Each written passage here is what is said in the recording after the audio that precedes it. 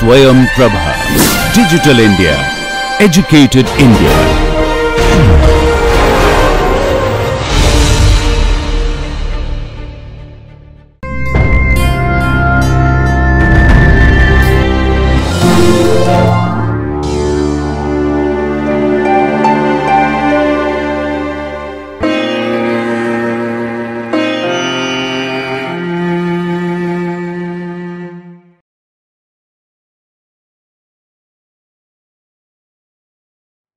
Good morning. We will be start um, talking about intestinal protozoa today.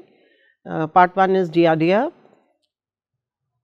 Now, at the end of the lecture, you should be able to at least learn the parasite biology, pathogenesis and clinical manifestations of the disease caused by it, diagnosis of the disease, treatment and how do you prevent and control the disease.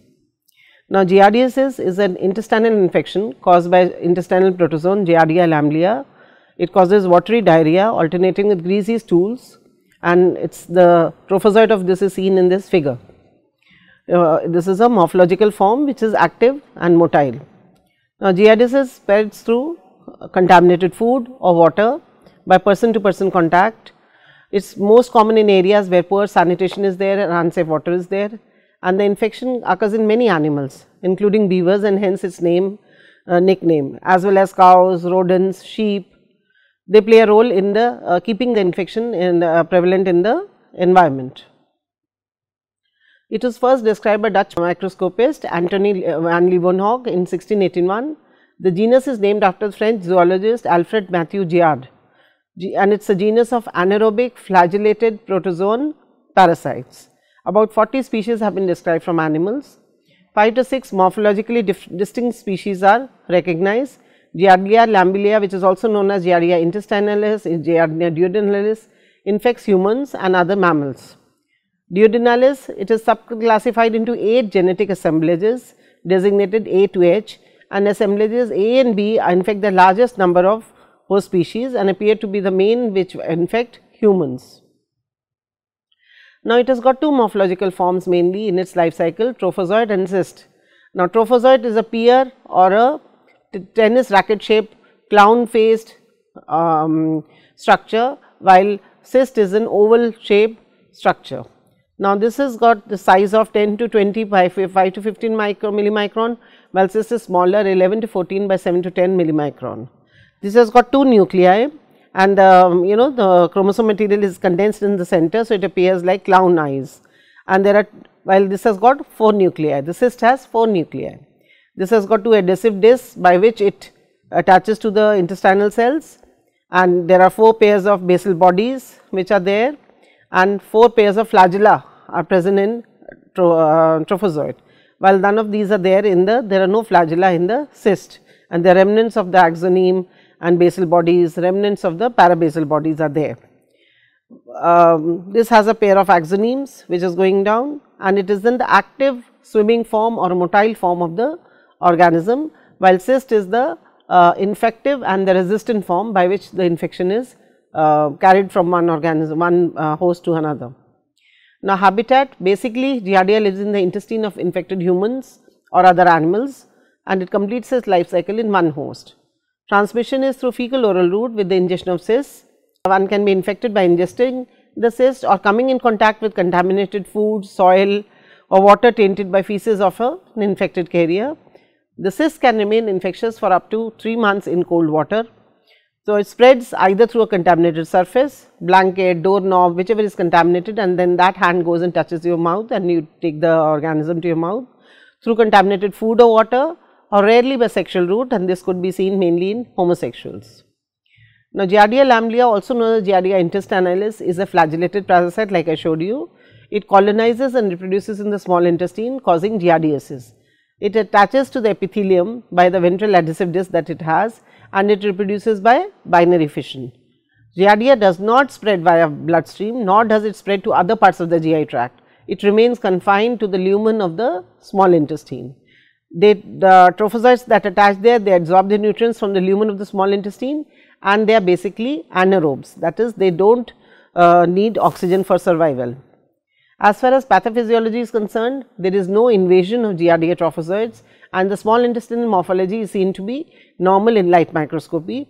Main mechanisms by which it causes damage is decreased expression of the brush border enzymes or it causes morphological changes to microvillus or it also causes programmed cell death of the small intestine epithelial cells. So, finally, the pathophysiology comes about that is the disease or the diarrhea that is presented. Now, life cycle the cyst is ingested by the host and it goes and becomes uh, loses the cyst form that is excistation occurs and true trophozoites are released in the duodenum which, which has the active state of feeding and motility and they multiply asexually, they attach to the duodenal mucosa by adhesive disc and they again uh, produce more trophozoites. Now, these trophozoites can be extruded in stool and pass through the digestive system. They also the encystation occurs. So, cysts as well as trophozoites are found in the feces.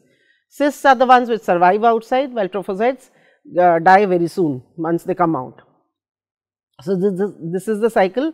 There is contaminated food or water which is there cysts can pass into the human being and they multiply in the um, GI tract into trophozoites and cysts and which pass out. Now, if you want to see this uh, clearly, this goes cyst the uh, excistation occurs, multiplies, trophozoites come out and so finally the trophozoite uh, comes out along with some encysted forms.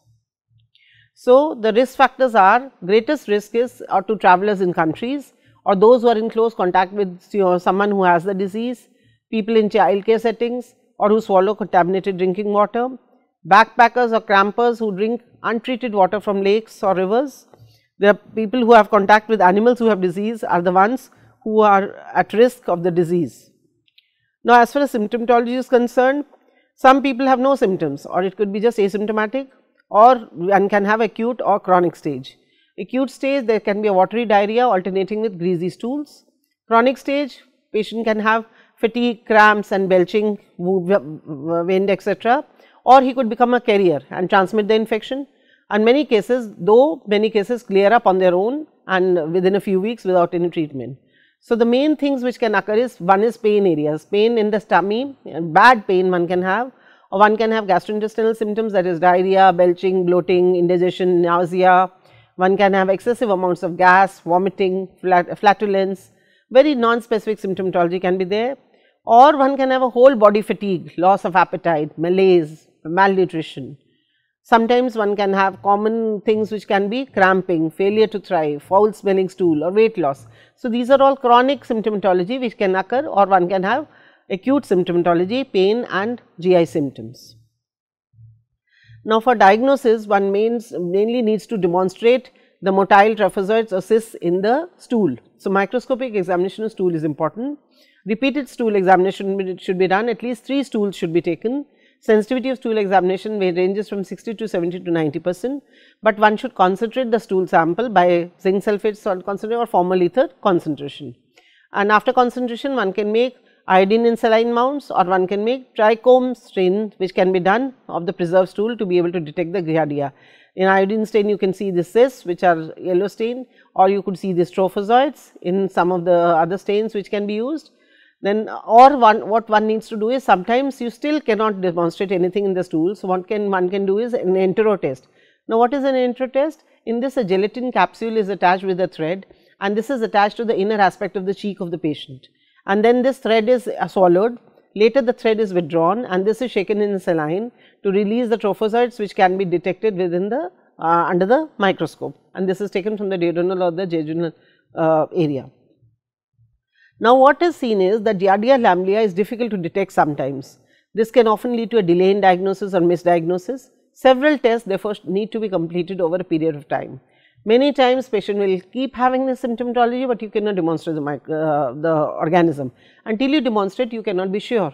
So, what one needs to do sometimes one has to do detection of antigen on the surface of organisms in stool samples, which is the current test of choice for diagnosis of giardiasis. It has an increased sensitivity more and over the common microscopy techniques that is done and what you can do is either you can detect the antigen by ELISA test or you could do direct fluorescent antibody staining. You could see, you could stain and look at the um, um, trophozoites or if they are present and this increases the sensitivity compared to normal microscopy. 90 percent detection rate is more by these methods.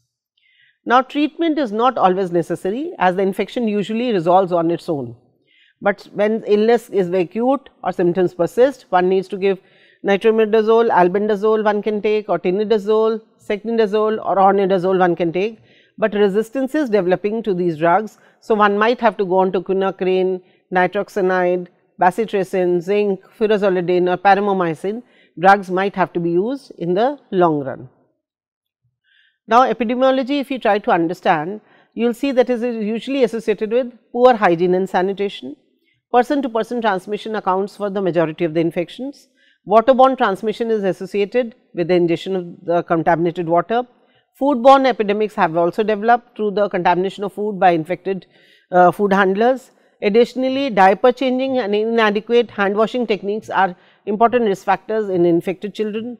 Venereal transmission has also been seen to take place through fecal-oral route. So, all these could be important factors in epidemiology and in the continuous uh, uh, endemic nature of the Giardia in environment. As far as prevention is concerned, CDC recommends hand washing and potentially avoiding uh, contamination of food and water by the main method to avoid in Giardia infection. Chemical disinfectants or filters can also be used. Boiling suspect water for 1 minute is the surest method to make water safe to drink and kill disease organic causing organisms. So, by for prevention basically it is the hand washing techniques, having the safe water or by disinfectants of filtration or by boiling for 1 minute and this can help to uh, prevent the infection in the long term. Thank you so much.